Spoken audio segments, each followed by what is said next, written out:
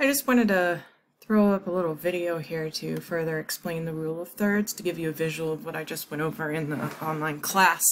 So as you can see, this is split up into the grid of what your rule of thirds will look like. If you did it in your phone, this is how it would come up. This won't be in the final picture in the print or anything, it's just a guideline.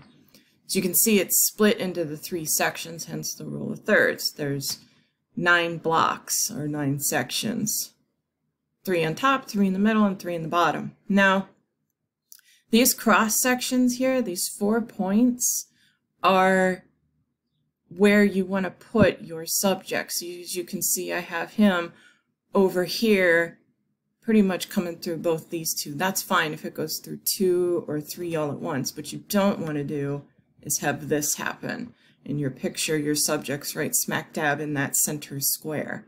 That's where you want to avoid putting stuff in. It's okay if it overlaps it in a little bit. Sometimes scooching it over a little bit gives it more dynamic.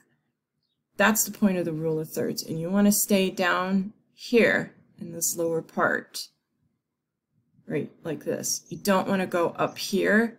You can, but you got to be careful because then you got it. Most of your picture is going to be what's ever in these two bottom rows. And you might get boring old grass or pavement or something like that. So you have to be really cautious of that. You can put it in the upper thirds, but you want to stay in that lower bottom right here.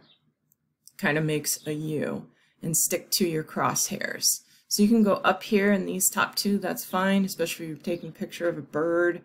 That's one thing that would look really good in your upper thirds generally stick to these areas. So if you can figure out how to turn this on in your phone, I put directions for Android and iPhone, um, but you can do a quick, easy Google search on how to turn that on.